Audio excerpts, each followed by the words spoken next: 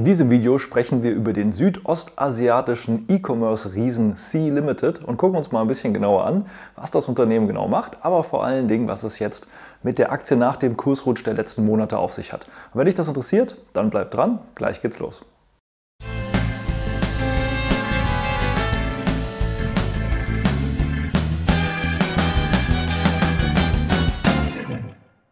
Hallo und herzlich willkommen auf meinem Kanal. Mein Name ist Maximilian Gamperling und wir sprechen heute über Sea Limited. Das war jetzt schon ein paar Mal zur Abstimmung und diesmal hat es eben auch gewonnen in meiner Abstimmung in der YouTube Community. Findet immer von Samstag bis Dienstag statt. Also gucke auch im nächsten Zeitraum rein, stimme mit ab, welches Unternehmen ich mir als nächstes etwas genauer anschauen soll. Und heute machen wir eben das allererste Mal eine Analyse über Sea Limited die eben ihren Sitz haben im südostasiatischen Raum und vor allen Dingen dort aktiv sind und gerade auch im Bereich E-Commerce, Gaming und Co. Jetzt gucken wir uns aber zuallererst mal den langfristigen Chart des Unternehmens an, so wie wir das immer machen. Und der ist nicht ganz so langfristig. Das Unternehmen ist nämlich tatsächlich hier erst 2017 an die Börse gegangen. Dann ist auch erstmal nicht viel passiert, aber dann ging es wirklich sehr steil nach oben und muss man auch sagen, absoluter Gewinner, auch von natürlich den Corona-Lockdowns. Weniger Offline-Geschäft, mehr Online-Geschäft. Dazu noch das Gaming-Geschäft von Sea Limited. Das hat ihnen natürlich sehr in die Karten gespielt. Jetzt die ganze Zeit und sogar auch 2021 haben sie sich vergleichsweise stabil gehalten, während andere Technologieunternehmen eher stark abgegeben haben. Aber jetzt hat sie es eben doch auch erwischt mit den Abgaben. Auch viele andere Unternehmen sind sie hier stark runtergekommen. Aber das gucken wir uns gleich nochmal genau an. Wenn man mal schaut, seit dem Börsengang wäre das trotz allem gar keine schlechte Entwicklung gewesen. Tatsächlich eine Gesamtrendite von um die 970 Prozent, das sind immer noch aufs Jahr gerechnet 73 Prozent. Also wer die ganze Zeit dabei war, hätte immer noch sehr, sehr viel Gewinn gemacht. Aber ich gehe mal davon aus, die wenigsten, die hier zuschauen, sind tatsächlich seit dem Börsengang dabei, sondern wahrscheinlich eher ein bisschen später eingestiegen. Was man jetzt mit der Aktie machen kann, das gucken wir uns später in der Chartanalyse noch ein bisschen genauer an, auch wie das Unternehmen bewertet ist. Aber jetzt gucken wir erstmal drauf, was macht das Unternehmen denn genauer? Und das teilt sich tatsächlich auf in drei Bereiche. Und zwar einmal hier Garena, dann Shopee und C-Money. Und wir gucken uns jetzt mal die drei Bereiche ein bisschen genauer nacheinander an und fangen eben mit dem ersten an. Und das ist Garena. Und da sehen wir schon, im Prinzip geht es hier um Online-Spiele. Und zwar ist das ja auch so eine gewisse Mischung im Namen. Games und Arena und so ein bisschen das kommt hier eben auch rüber. Es geht eben darum, gerade diese E-Games zu machen. Sie haben also sozusagen Online-Spiele auch selbst entwickelt, sind da auch einer der führenden Online-Spiele-Entwickler und Hersteller sozusagen, äh, gerade bei so ein, zwei Spielen, die ich persönlich jetzt aber nicht kannte und äh, sind da auch ganz vorne mit dabei und füllen hier eben auch tatsächlich ganze Arenen, denn das ganze E-Sport-Thema wird ja auch immer größer und hier spielen sie vorne mit und haben eben hier einen großen Bereich, der natürlich auch zu Corona sehr stark gefragt war. Der etwas größere Bereich, das ist Shopee. Hier geht es um E-Commerce, also sowohl ähm, Lieferungen als auch äh, Online-Bestellungen und Co. Das ist ein bisschen der größere Bereich von Sea Limited und äh, macht auch das meiste aus und ganz im Vergleich zu Sea Money, da geht es eben um Zahllösungen, wie das natürlich auch auch jedes andere E-Commerce-Unternehmen mittlerweile anbietet, egal ob jetzt PayPal, eBay, äh, Amazon, Apple und wie sie alle heißen. Jeder hat ja irgendwie einen eigenen Zahlungsdienstleister. So ähnlich ist das hier auch bei C-Money, spielt tatsächlich aber eine vergleichsweise geringe Rolle in der Gesamtdarstellung. Das Unternehmen ist vor allem im südostasiatischen Raum aktiv. Wir sehen hier das sind im Prinzip die äh, sechs Länder, in denen sie hauptsächlich aktiv sind. Das heißt, wir haben hier Vietnam, Thailand, Philippinen, was auch das größte Land ist, in dem sie aktiv sind, Malaysia, Singapur und Indonesien. Insgesamt eben hier eine Population oder eine Einwohnerzahl von um die knapp 600 Millionen, die sie hier eben auch als ähm, ja, Targetierung hätten. Ein bisschen so ähnlich vielleicht, wie wir das so auch in Europa haben oder in Amerika als Größe. Und das ist eben so ihr hauptsächlicher Fokus. Natürlich gibt es da Unterschiede von der Größe her, aber so ungefähr in dem ähm, Rahmen bewegt sich das. Und das natürlich auch in einem äh, ja, regionalen Bereich, der natürlich auch logistisch nicht gerade einfach ist, muss man sagen. Gerade wenn man jetzt hier im ähm, E-Commerce-Bereich aktiv ist. Wir haben hier sehr viele Inseln, wir haben teilweise keine gute Infrastruktur. Das heißt, logistisch etwas herausfordernd und damit natürlich auch ein Bereich, in dem sich lokale Unternehmen deutlich besser auskennen und deutlich besser äh, auch schlagen können, als jetzt vielleicht eben die großen, die eben auch auf eine gute Infrastruktur wie Amazon äh, zurückgreifen können und sich deswegen auch vor allen Dingen in Europa oder eben auch in Amerika erstmal angesiedelt haben. Wenn wir mal schauen mit ihrem Geschäft, gerade wenn man jetzt natürlich hier auf die äh, Shopping-Apps im iOS Store guckt, dann sind sie in den jeweiligen Ländern immer eigentlich auf Platz 1 mit ihrer jeweiligen App. In Indonesien, Malaysia, Malaysia, Philippinen, Thailand, Vietnam und hier lediglich in Singapur ist Lazada eben noch eins weiter vorne. Ansonsten sind sie immer tatsächlich im jeweiligen Land äh, die Top-Shopping-App und das spricht natürlich auch für ihre Positionierung, die sie da erreicht haben. Das Wachstum hat man nicht nur im Kurs gesehen, das hat man auch in der Unternehmensentwicklung gesehen. Wenn wir mal schauen, hier der ähm, Umsatz ist im Prinzip auf 2,7 Milliarden angestiegen. Vom Jahr zu Jahr hat sich mehr als verdoppelt, also von Q3 2020 auf Q3 2021. Das sind jetzt die jüngsten Zahlen, die es eben gibt. Die Geschäftsjahreszahlen für komplett 2021 sind noch nicht vorhanden, äh, verfügbar, deswegen hier Q3 über 120 Prozent Wachstum. Jetzt wird es interessant zu sehen sein, ob das auch in einer vielleicht sich abschwächenden Corona-Welt, die wir dann so langsam wieder hoffentlich erleben werden, ob das Wachstum dann noch so anhält oder ob es vielleicht sogar einen gegenläufigen Effekt gibt. Und das ist mit Sicherheit auch einer der Gründe, warum so ein bisschen der Kurs runtergegangen ist. Auf der anderen Seite haben wir hier eben auch den ja, äh, ja, die, die äh, Rohertragsmarge sozusagen 150 Prozent fast gewachsen. Und was wir aber auch sehen, und das ist sogar das Adjusted EBITDA, also sozusagen ähm, ja, der optimierte Gewinn. Ähm, EBITDA, also ist ja Earnings Before Interest, äh, Taxes, Depreciation and Amortization. Also im Prinzip geht es hier darum, dass man sozusagen den Gewinn hat vor irgendwelchen Sondereffekten und Steuern und eben hier nochmal adjusted, das heißt äh, sozusagen bereinigt um gewisse Sondereffekte, die hier mit drin stecken. Und da sehen wir, trotz des starken Wachstums, sehen wir hier deutlich stärkere Verluste. Also wo man hier sozusagen noch ein bereinigtes EBITDA ausgewiesen hat von 120 Millionen, hat sich das jetzt eben hier nochmal reduziert auf minus 165 Millionen. Also in anderen Worten, das Unternehmen verbrennt ordentlich Geld. Und das werden wir auch gleich sehen, wenn wir nochmal ein bisschen genau auf die Zahlen gucken. Schauen wir mal in die einzelnen Bereiche rein. Wenn wir jetzt hier mal auf Garena gucken, also der Spielebereich, der wächst sozusagen über die Jahre hinweg mit ungefähr 27 Prozent. Äh, das ist jetzt hier von äh, Quartal zu Quartal, also eben von 2020 auf 2021 27 Prozent aktive Nutzer und vor allen Dingen eben die Zahlen der Nutzer, das ist ja das Interessantere, das ist um 43 Prozent gestiegen. Also durchaus auch nochmal ein stärkeres Wachstum bei dem, was für das Unternehmen, für äh, das, was man macht, ja relevant ist, dafür, dass vielleicht auch mal ein Gewinn rauskommt, wenn gerade Zahlen der Nutzer zuschlagen. Das heißt, das Unternehmen schafft es eben auch immer mehr Nutzer dazu zu bekommen, für den Service zu zahlen. Das ist wie bei vielen anderen Dingen auch. Es gibt ein Freemium-Modell, das heißt, man kann erstmal kostenlos anfangen und dann kann man das Ganze natürlich steigern, indem man ein bisschen was zahlt. Ja, mal schaut, dann ist das hier eben deutlich stärker gewachsen. Gucken wir mal auf ähm, den Bereich E-Commerce. Der ist tatsächlich hier von Jahr zu Jahr noch stärker gewachsen, 123 Prozent von 2020 auf 2021. Und äh, wenn wir jetzt hier mal schauen, das ist im Prinzip sozusagen das, was pro Verkauf oder pro Kauf sozusagen ähm, äh, eingenommen wird. Ähm, beziehungsweise das, was sozusagen wirklich jetzt verdient wird mit den ähm, Umsätzen. Also das hier so im Prinzip sozusagen der äh, grundsätzliche äh, Umsatz der Orders und das ist sozusagen das, was dann wirklich hängen bleibt. Haben wir ein Wachstum von 123 Prozent, das, was am Schluss wirklich hängen bleibt, äh, ist um 81 Prozent gewachsen. Also man sieht schon grundsätzlich sehr starke Wachstumszahlen, sehr starkes Wachstum beim Unternehmen an sich. Und das ist natürlich sehr schön weiter zu sehen. Gucken wir mal auf die Umsatzentwicklung im Aktienfinder über das gesamte Unternehmen hinweg. Und da sehen wir auch, wie stark das hier zugenommen hat äh, gerade hier auch über die letzten Jahre hinweg und auch was von den Analysten prognostiziert worden ist. Da sage ich dann aber auch gleich nochmal was zu, denn tatsächlich ist es nämlich so, dass gerade wenn man hier hinten hinguckt, die Anzahl der Analysten abnimmt. Also gerade hier vorne, da sind noch sehr viele Analysten dabei, die da sozusagen eine Schätzung abgeben. Gerade hinten raus ist es gerade aber mal lediglich ein einziger Analyst, der dieses extrem starke Wachstum vorhersagt. Und deswegen müsste man fast hier so ein bisschen abschneiden, eigentlich schon hier abschneiden, denn diese äh, extrem starken Wachstumszahlen, die kommen eigentlich eigentlich nur von einer einzigen Analystenschätzung. Und das ist natürlich ein bisschen dünn und das werden wir auch gleich beim Gewinn sehen. Wir sehen es aber hier bei der Marge erstmal. Wir haben jetzt hier mal eine Bruttomarge von ungefähr ja, 37, 38 Prozent. Operative Marge und Nettomarge sind dick im Minus, minus 21, minus 23 Prozent. Das sehen wir auch gleich, wenn wir dann auf den Gewinn gucken. Jetzt schauen wir aber erstmal auf die Umsatzverteilung. Und da sehen wir das, was ich auch im Vorfeld schon so gesagt hatte. E-Commerce, das macht knapp 50 Prozent aus. Der ähm, digitale Entertainment-Bereich, also Spiele und Co., macht 46 Prozent aus. Knapp dahinter also und andere Services 3%. Und wenn wir hier mal gucken, digitale Finanzlösungen gerade mal 1,4%. Der dritte Bereich, also C-Money, das ist das, was sich hier hinter äh, versteckt. Das ist noch relativ gering im Vergleich, was jetzt so die Verteilung angeht. Also der Großteil eben E-Commerce und dann eben der kleinere, aber scheinbar auch der rentablere Bereich hier im digitalen ähm, Entertainment-Bereich, im Gaming-Bereich. Gucken wir mal auf die regionale Verteilung. Woher kommt sozusagen der Umsatz?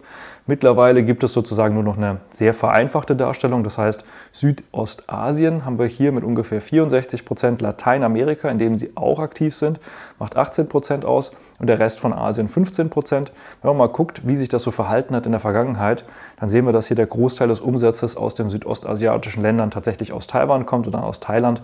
Also mit die, ähm, oder die, die größten, äh, größten Länder, äh, auch, auch die Einwohnerzahl angeht. Dementsprechend auch logisch, dass hier der Großteil herkommt.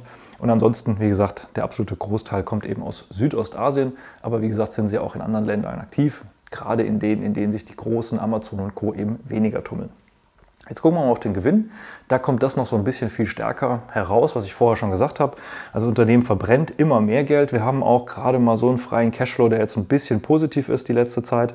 Äh, wir sehen aber, der tatsächliche Gewinn, das ist dick negativ und hat tatsächlich auch immer mehr verloren, also keine Besserung in Sicht gewesen. Die Prognosen gerade von vielen Analysten, ich glaube, das waren 13 Analysten, die jetzt hier für die nächste Zeit nach wie vor wenn dann auch wenigstens geringere Verluste vorhergesagt haben. Und dieser Sprung in die Gewinnzone, das ist wie gesagt lediglich ein einziger Analyst, der das vorhersagt. Deswegen würde ich das dann tatsächlich auch ja, sehr mit Vorsicht genießen. Viele andere trauen sich dann noch nicht eine Prognose so weit in die Zukunft abzugeben, sondern gerade mal fürs nächste Jahr. Und dementsprechend muss man hier diesen starken Sprung in die Gewinnzone so ein bisschen mit Vorsicht genießen. Und damit muss man natürlich auch so ein bisschen mit Vorsicht auf den Kurs gucken, vom Grundsatz her. Denn langfristig entwickeln sich Aktienkurse auch immer an der Gewinnorientierung. Natürlich ist es auch so gewesen, Amazon hat auch lange keine Gewinne gemacht, hat äh, immer sehr viel in das Geschäft investiert. So ähnlich ist das dann hier auch. Aber man muss natürlich dann auch sagen, wie wird sich jetzt weiterhin ähm, ja, die, die, Firma entwickeln, wie wird sich weiterhin das Umsatzwachstum darstellen. Und das wird natürlich dann sehr entscheidend dafür sein, wie der Aktienkurs sich auch weiterentwickelt. Denn von einer stabilen Gewinnentwicklung, da sind wir jetzt noch ein bisschen weiter weg. Und das wird natürlich dann langfristig relevant für die Bewertung und für die äh, Entwicklung des Aktienkurses. Gucken wir mal auf die Bilanz, die ist soweit aber solide, muss man sagen. Äh, wir haben jetzt hier, ähm, wenn man mal guckt, Gerade die zu verzinsenden Schulden sind sogar gedeckt ähm, durch das Kernvermögen. Wir haben hier auch einen großen Anteil an Cash und Wertpapieren, sehr geringen Anteil an Goodwill. Insofern von der Bilanz her sollte das, das für das Thema, äh, für die Firma eigentlich kein Problem sein, die Schulden zu decken. Also von der Warte ist das jetzt kein überschuldetes, äh, kritisches Unternehmen. Das heißt, Sie können weiterhin in Ihr Wachstum investieren. Und das hängt natürlich auch damit zusammen, dass Sie immer wieder neue Aktien herausgegeben haben. Das heißt, als Aktionär wird die eigene ähm, Quote am Unternehmen sozusagen verwässert. Ist auch nicht ungewöhnlich für so ein Wachstumsunternehmen nehmen. Dividende gibt es ja sowieso keiner. Das macht ja auch Sinn, wenn man so stark ins Wachstum investiert. Und dementsprechend muss man das einfach nur so ein bisschen im Hinterkopf behalten. Gehen wir mal auf die Kennzahlen ein. Und wenn man da mal schaut, wir haben jetzt hier ein KCV, also Kurs-Cashflow-Verhältnis, das ist hier in Gelb. Und wir haben hier unten ein Kurs-Umsatz-Verhältnis in Grün. Alles andere können wir relativ ignorieren. Und wir sehen hier natürlich extreme Sprünge. Wir waren hier beim Kurs-Cashflow-Verhältnis. Das war sogar über... Ähm, ja, über 250 zwischenzeitlich. Mittlerweile gibt es keinen Cashflow mehr, deswegen ist es wieder auf Null, also keinen positiven Cashflow zumindest. Aber wir können Kurs-Umsatz-Verhältnis uns anschauen. Äh, Umsatz haben wir ja eigentlich immer. Und wenn wir da mal gucken, dann sind wir jetzt eben seit dem Börsengang, also seit den Daten 2017, hier ungefähr bei dem äh, Durchschnitt von 10 beim Kurs-Umsatz-Verhältnis. Momentan sind wir gerade mal knapp bei der Hälfte 5,9. Das heißt, ähm, wenn man mal guckt, wie das Unternehmen in der Vergangenheit bewertet worden ist, zu dem, was es heute bewertet wird, ist es relativ günstig und äh, das für so ein Wachstumsunternehmen auch relativ günstig. Insofern durchaus interessant, sich das Ganze mal ein bisschen näher anzugucken. Und deswegen schauen wir mal in andere Bewertungen rein, wie hier jetzt eben den Piotrowski-Score. Der ist mit 6 von 9 auch relativ grün. Liegt natürlich auch damit zusammen, dass die Bilanz soweit sauber ist. Natürlich haben wir hier neues Eigenkapital aufgenommen. Produktivität ist gesunken. Ansonsten haben wir hier noch eine negative Kapitalrendite. Auch das ist jetzt nicht ganz so überraschend. Und äh, dementsprechend Sechs von neun Punkten ist halt ein Wachstumsunternehmen, aber durchaus mit einer ordentlichen Bilanz. Wenn wir jetzt mal in den Aktienfinder reingucken äh, und in die Bewertung, dann können wir natürlich recht wenig anfangen, tatsächlich, weil wir haben einen Kurs, der ist jetzt noch nicht so lange da, seit 2017. Und das Einzige, was wir sozusagen haben, ist ein Cashflow. Und dadurch, dass jetzt auch der Cashflow ins Negative gegangen ist, beziehungsweise dass wir keinen positiven Cashflow hatten, äh, jetzt das letzte Jahr, sind wir jetzt hier natürlich auch wieder abgesackt auf Null. Insofern nicht so richtig aussagekräftig, nicht wirklich etwas, womit wir was anfangen können. Deswegen können wir das hier tatsächlich auch wieder so ein bisschen äh, wegschieben und können uns dann, wenn dann auf der Seite eher aufs Kursumsatzverhältnis konzentrieren, wo wir gerade schon gesehen haben, sind wir eher günstig. Und das bringt uns jetzt zur Chartanalyse. Die hilft uns ja mal ganz grundsätzlich, das Unternehmen zu analysieren, unabhängig von den fundamentalen Daten. Auch die stecken natürlich in den Aktienkursen mit drin. Aber dann sehen wir, wir haben hier nochmal diesen langfristigen Chart, den wir vorhin schon hatten. Dann sehen wir hier auch erstmal diesen langfristigen Trend, äh, wo es hier nach Corona tatsächlich jetzt hier diesen starken Anstieg gab, einer dieser ganz extremen Corona-Profiteure. Man mag fast reden von einer gewissen Übertreibung. Und wenn man mal schaut, dann sind wir hier auch erstmal ganz normal zurückgekommen, haben dann hier auch reagiert. Kritisch war dann aber tatsächlich, dass wir hier nochmal unten durchgefallen sind. Also wir sind hier tatsächlich durch diesen Aufwärtstrend und selbst wenn ich jetzt hier einen flacheren einzeichnen würde, sind wir hier auch nochmal durchgerauscht. Also insofern sind wir hier im Moment tatsächlich mal unter den langfristigen Aufwärtstrend runtergefallen. Und das ist natürlich erstmal grundsätzlich schlecht, weil was wir sehen wollen, ist selbst wenn es mal solche Übertreibungen und dann wieder Rücksetzer gibt, und das haben wir durchaus bei einigen Unternehmen, dann, dass sie maximal zurückgehen bis zu ihrem langfristigen Trend. Und das haben wir bei C Limited gerade nicht, sondern da hat ein größerer Ausverkauf stattgefunden. Wir mal schauen, was ist jetzt passiert, sind die im Prinzip von der Spitze bis jetzt hier zum absoluten Tief um ja, knapp 70 Prozent gefallen, 68 Prozent in der absoluten Spitze, haben sich aber gerade die letzten Tage schon wieder ordentlich erholt und da gucken wir auch gleich nochmal drauf. Und das ist eigentlich sehr schön. Dass es mal solche starken Korrekturen gibt, gerade bei so jungen Unternehmen, ist nicht ungewöhnlich. Das ist sehr wichtig, dass man hier bei den Unternehmen darauf achtet, wann man einsteigt. Und äh, ich will noch mal erinnern, das hatte ich auch schon ein paar Mal erwähnt in anderen Videos, auch eine Amazon ist mal um über 90 Prozent zusammengefallen, ganz am Anfang ihrer Zeit. Und da kann man natürlich sagen, klar sind das Unternehmen, die in der Zukunftsbranche absolut drin sind und äh, diese Themen werden auch in Zukunft absolut wichtig sein. Aber es ist eben auch wichtig, dass diese Firmen überleben, sich weiterentwickeln und eben auch in Zukunft äh, irgendwann mal Gewinne produzieren können oder bis dahin dann eben genug Finanzierer finden. Das ist nicht immer ganz sicher, gerade in Phasen, in denen es mal ein bisschen unrund läuft. Jetzt muss man aber sagen, hier dieser starke Abfall, der hat jetzt weniger wohl mit der Geschäftsentwicklung zu tun, denn die ist solide, die ist gut und äh, das schaut auch soweit gut aus. Da hat sich auch nichts Wesentliches geändert zu vorher, sondern was hier im Prinzip passiert ist mit diesem starken Rückgang, das hat vor allen Dingen eben damit zu tun, dass auf der einen Seite Corona ein bisschen weniger die große Rolle spielt. Also man sieht natürlich schon am Horizont, dass wir langsam auch gerade durch Omikron vielleicht eben in diese Situation kommen, dass wir eher äh, immun werden oder dass es nicht ganz so extrem mehr Ausschläge hat und dass die Welt eigentlich eher versucht, jetzt damit zu leben und dass damit natürlich auch eben diese E-Commerce-Dinge ein wenig an Bedeutung verlieren. Das heißt, die großen äh, Prophezeiungen, die man hatte und die für diesen starken Anstieg geführt haben, die werden jetzt so wieder ein bisschen neutralisiert. Natürlich nicht komplett, aber so ein bisschen neutralisiert. Und das führt auf der einen Seite zu den Rückgängen. Und auf der anderen Seite führt natürlich auch ganz stark zu den Rückgängen die Zinserhöhungen in Amerika. Das hatte ich auch schon mal in anderen Videos erwähnt. Dadurch, dass die Zinsen erhöht werden, das belastet jetzt nicht hier diese Schuldensituation, die ist ja auch nicht ganz so extrem für das Unternehmen, auch wenn es nicht förderlich ist, wenn man ins Wachstum investieren will sondern das Problem ist tatsächlich vielmehr, dass die Bewertungsmodelle von großen Investoren sich dadurch ändern, weil sie immer den Zinssatz der Notenbank als Referenzzins nehmen und eben als Risikoabschätzung in ihre Kalkulation mit reinnehmen. Und dementsprechend, wenn sich der Zinssatz erhöht, dann müssen die Unternehmen sozusagen noch profitabler sein oder die Bewertung wird verändert in, der, in dem Sinne, dass nicht mehr ganz so hohe Aufschläge akzeptiert werden.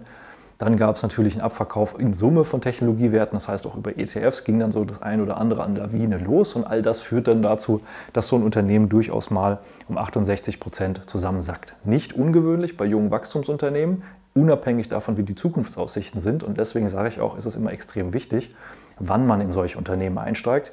Und gerade nachdem so ein starker Anstieg war und ja auch ein gewisser Hype gerade in Deutschland um dieses Sea Limited stattgefunden hat und um die Aktie, sind natürlich viele gerade irgendwie zu spät auf diesen Zug aufgesprungen. Und das ist dann gerade bei solchen Unternehmen eher gefährlich, aber ganz normal ist es leider auch. Und jetzt ist natürlich die Frage, wie kann es jetzt weitergehen? Wenn wir mal schauen, was ist jetzt eigentlich passiert. Ansonsten, wir haben gesehen, wir haben hier so ein paar wichtige Unterstützungen auch gebrochen, also nicht nur den langfristigen Aufwärtstrend zuletzt, sondern wir hatten hier auch eine wichtige Unterstützung. Hier haben wir dann nochmal so eine kleinere gebrochen, hier dann nochmal eine wichtige, das war auch so dieser andere langfristige Aufwärtstrend, der ein bisschen kürzer war. Aber was wir jetzt sehen, hier auf diesem Niveau, so von 123 ungefähr 120, 123 Dollar, da haben wir jetzt gedreht, da hat es jetzt erstmal gehalten und das ist auch ein wichtiger Punkt hier. Das war nach dem Corona-Schub nach oben das erste Mal, dass die Aktie auch mal so ein bisschen eine Verschnaufpause eingelegt hat und da hat sie jetzt hier auch erstmal gehalten. Das ist erstmal gut. Wir sehen eine gewisse Stabilisierung bei vielen Werten, nicht bei allen, aber doch bei einigen im Moment. Und das ist auch erstmal gut, heißt aber nicht, dass es nicht doch nochmal weiter runtergehen könnte. Äh, man darf nicht vergessen, selbst nach einem 70% Abfall kann es durchaus auch nochmal 50% runtergehen und dann sind wir so bei 90, 95% Verlust, was eben auch mal eine Amazon in ihren Anfangsjahren hatte. Also insofern das darf man nicht unterschätzen, dass es dann eben nochmal 50 Prozent fallen kann. Das ist einfach pure Mathematik, da kann ich auch nichts dran ändern, sondern das ist dann einfach so. Aber im Moment sieht es erstmal nicht danach aus, denn im Moment haben wir erstmal eine Gegenbewegung. Ob das jetzt eine, eine technische Gegenbewegung ist, wo es jetzt so mal eine Zwischenerholung nach 70 Prozent Verlust gibt, oder ob das jetzt eine nachhaltige Erholung ist, das werden wir erst sozusagen im weiteren Verlauf sehen. Aber es ist auf jeden Fall schon mal eine sehr gute Erholung. Schauen wir uns das mal ein bisschen genauer an. Dann können wir nämlich hier auch so einen Abwärtstrend anlegen. Und da sehen wir, dass jetzt eben mit dem gestrigen Kurs, also ich nehme das Video eben auf am 10. Februar, am Donnerstag, den 10. Februar. Das hier sind die Schlusskurse vom 9. Februar, also vom März 2000, äh, vom 9. Februar, dem Mittwoch 2022. Steht auch hier oben links. Und da ist tatsächlich die Aktie hier oben drüber gegangen. Und das ist auch mal schön, wenn ich hier ein Video aufnehme, dass ich nicht immer nur sagen muss, jetzt könnte was passieren, sondern dass ich mal sagen kann, wir sind hier über den Abwärtstrend oben raus. Ich würde jetzt noch bis zum Ende der Woche warten und auch mal gucken. Das Video kommt ohnehin erst Freitagabend raus. Das heißt, oder Freitagnachmittag. Das heißt, ich würde jetzt auch einfach mal warten bis zum Wochenende, ob das jetzt hier wirklich oben drüber bleibt oder sich sogar noch mal ein bisschen bestätigt nach oben hin. Und dann kann das tatsächlich auch ein Einstiegssignal sein, wenn man in das Unternehmen investieren möchte. Denn es hat dann den Abwärtstrend gebrochen, geht nach nach oben raus. Und das ist natürlich durchaus mal interessant zu weiter zu beobachten. Und wenn man jetzt da reingehen möchte, dann würde ich aber trotzdem empfehlen, dass man hier unter diesem Tief auch sagt, im allerschlimmsten Fall würde ich da wieder rausgehen. Ja, das sind 30% Verlust und dann müsste man verkaufen. Das ist immer schmerzhaft. Aber wenn, wie gesagt, wenn das hier unten durchfällt, dann wäre es auch durchaus möglich, dass es nochmal 50% tiefer geht und dann wären es keine 70% Verlust in der Aktie vom Hoch, sondern eben so ein bisschen über 90%. Das sind trotzdem 50%, die es dann nochmal runtergehen kann, ab diesem Niveau hier unten schon. Das heißt, das wäre schon nochmal schmerzhaft, falls es hier unten durchfällt. Man kann hier auch, ja, so ungefähr bei 20%, hier gibt es so ein kleines Zwischentief, da kann man natürlich auch theoretisch einen Stopp einziehen. Aber ich würde empfehlen zu sagen, wenn es darunter fällt, dann auch rausgehen, weil dann ist wirklich irgendwas kaputt. Dann sind wirklich irgendwelche Zukunftserwartungen komplett passé und dann muss man die Firma erst nochmal neu bewerten. So ähnlich wie bei Amazon ähm, ganz am Anfang ähm, zu den Dotcom-Zeiten und Co. Wenn dann sozusagen dieser ja, Abverkauf auch wirklich vorbei ist, dann könnte man wieder reingehen. Hier könnte man mal sowas erstes wagen, wenn man die Firma investiert sein möchte. Wenn man schon investiert ist, dann würde ich dann jetzt auch einfach mal abwarten, wie es weitergeht.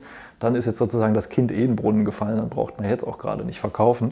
Aber wenn das Ganze hier eben sich nicht bestätigt, sondern wieder in sich zusammenfällt, wie so ein Soufflé, dann würde ich dann doch mal auch die Reißleine ziehen. Aber wie gesagt, ähm, wirklich sinnvoll wäre das hier so bei 123, 120 Dollar wenn es hier unten drunter geht, dann auch wirklich die Reißleine zu ziehen. Und ansonsten, wenn sich das jetzt hier nach oben bestätigt, ist die Wahrscheinlichkeit zumindest mal größer, dass es nach oben gehen könnte. Hundertprozentige Sicherheit gibt es an der Börse eh nie, aber zumindest erhöht sich jetzt gerade die Wahrscheinlichkeit, dass jetzt hier ein Boden reingekommen ist. Ich selbst bin in der Aktie nicht investiert. Ich habe es auch ehrlich gesagt nicht vor. Ähm, ja, Zukunftsaussichten sind da. Ich kann mich aber ehrlich gesagt nicht ganz so mit der Firma identifizieren. Für mein langfristiges Ankerdepot ist es ohnehin nichts. Da erfüllt es nicht die Kriterien. Und ansonsten für meine anderen anderen Strategien passt es nicht und für mein Spaßdepot, ich habe da einfach keinen Spaß dran an der Aktie.